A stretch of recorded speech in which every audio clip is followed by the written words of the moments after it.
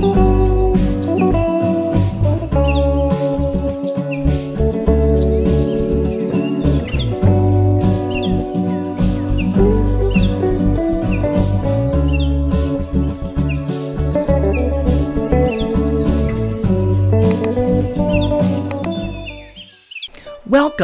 to growing your own food in your own backyard. And if you are new to my channel, please consider subscribing and don't forget to hit the like button. This video is about an experiment to grow a cherry tomato plant and a bell pepper plant indoors. I started a number of bell pepper plants and tomato plants from seeds. After planting outdoors and giving some away, I had a few left over and I decided to try this experiment. So this is going to be an exciting project.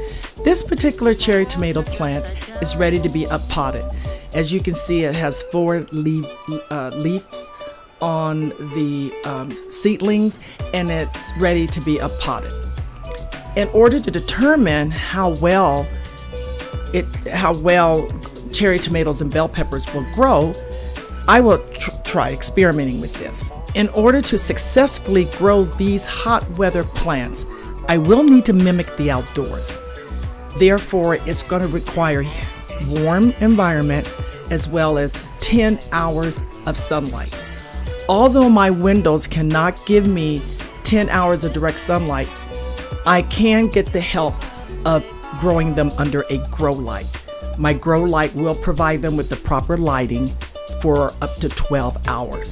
So I'm excited to see how well I will do.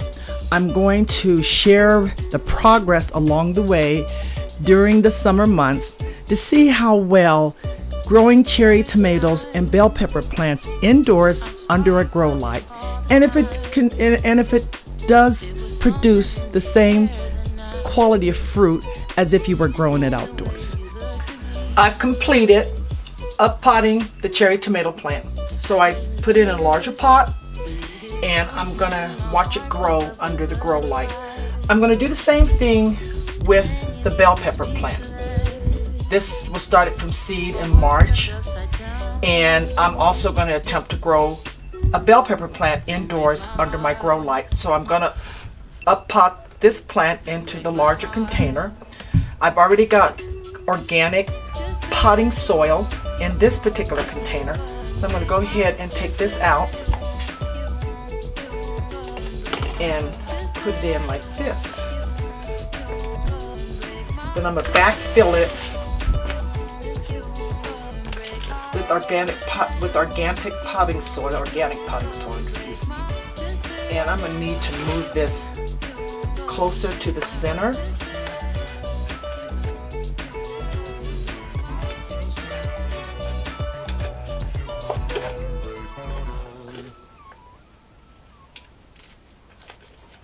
Again, both these plants were started from seed and I had a lot more left than I had planned for. So I decided, well, why not experiment growing bell peppers and cherry tomatoes indoors?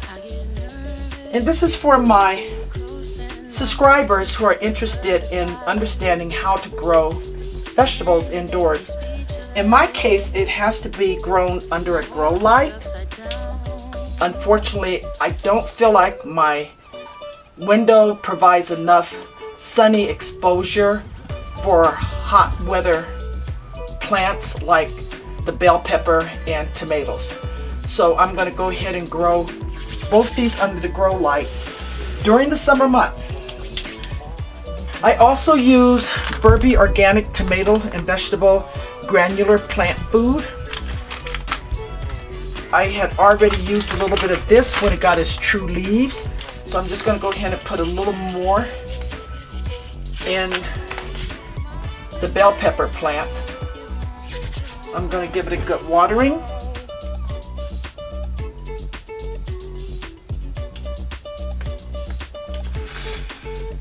There. I have cherry tomato plant and a green bell pepper plant that I am attempting to grow under the grow light during the summer for those who are interested in understanding and um, maybe wanting to experiment on how to grow cherry tomato plants and bell peppers indoors under the grow light. So I'm going to continue updating you on this experiment and see how well both these plants do and how um, productive they're able to bear fruits. Thank you for watching and don't forget to hit the like button.